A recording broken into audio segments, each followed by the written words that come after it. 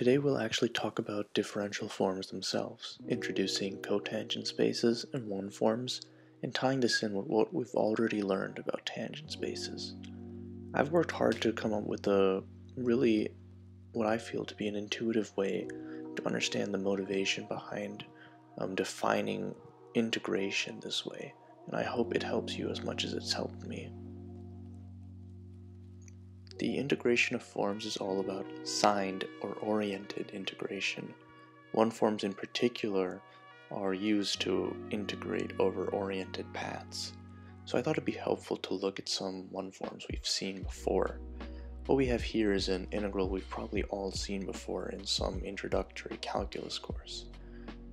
If we think about the dx as the tangent vector moving along the path which is the line from A to B, then f of x dx is actually a one form. We can think about this as assigning a value to each vector along the path, each tangent vector in particular along the path. Now let's consider another example we've probably all seen before, integration over a vector field. Here, the tangent vector notion is really indispensable because the direction that it points at a point is directly related to the value, the vector value taken at that point. So the one form here is f dr. And again, we can think about this as assigning a value to a vector, and the integral is simply summing up, in a sense, all of those values. Now let's consider manifolds how might we go about integrating a function over a path gamma? So we want a function that takes a point on the manifold and outputs an element of the field, say the real numbers. Now if we want this to be integrable to extend this notion of a signed integral, we need a tangent vector. Um, so what does a tangent vector mean on a manifold?